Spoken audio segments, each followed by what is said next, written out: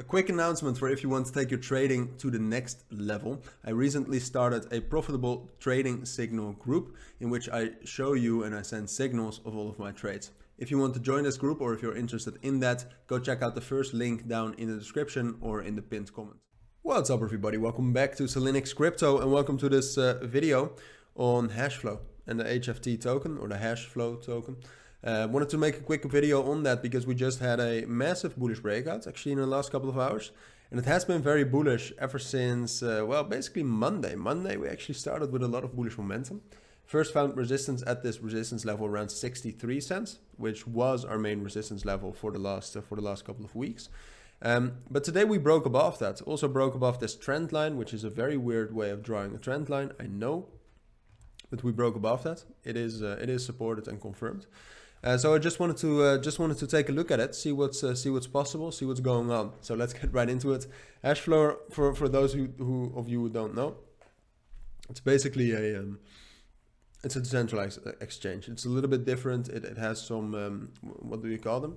Some uh, smart money regulators or, or something. I, forgot the name, but I know the I know the idea behind Hashflow. It's actually the, the, the centralized exchange I use the most at this point of time, I think. Um, it works great. It's very fast, a lot of, uh, lot of chains and low fees.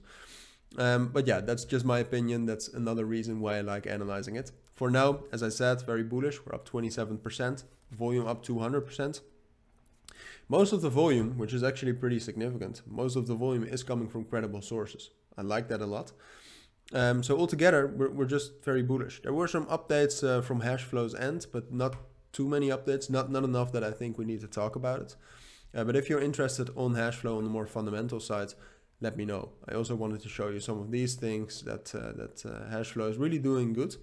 This is only the BSC chain, but uh, in volume, for example, you can see that the last couple of days, but also during January, we were in an uptrend. Um, but yeah, that's that's enough fundamentals for now. Let's talk about the technicals. As I said, we had a had a couple of major bullish breakouts, basically two, above 63 cents and above this uh, 65, 66 cents level. Um, however, we have also reached a major resistance level around 75 cents, which is a psychological resistance level, but you can also see that technically after the uh, Binance Launchpad launch of Hashflow, it was also very much respected. Uh, so we found resistance there. It, uh, technically, it ranges from 75 to 70 cents. Found resistance there. Um, and, um, and and now the main thing is is is can we break through that? Can we actually, for example, break above 70 cents in order for us to take a break retest and get up to our next price target around 81 and 84 cents? That's the main thing we want to do, and I, I, it's it's possible. It's definitely possible because there's a lot of bullish momentum in Hashflow. and if Bitcoin actually continues this bullish momentum, we could actually very well do it. I just think that it's it's more unlikely than it is likely that we'll do it now. I think it's more likely for Hashflow right now that sure we might test 74 and 75 cents once more, but that from that level we will drop back down to 66 and even down to 63, 62 cents. Find support there. And then if the market will stay bullish like it is, or at least stable, um, neutral, then I think we can do something like this later on.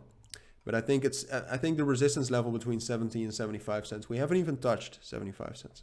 I think it's too strong for now, and therefore I think we'll slowly drop back down. And then if the market circumstances are still great, I don't think it's a problem. I think we can do it again, uh, get up to that level and then break it. Uh, but I'll keep you updated on that if you're interested in that. For now, this is my take on, uh, on, on Hashflow. If you do have any questions, let me know. But for now, take care and bye.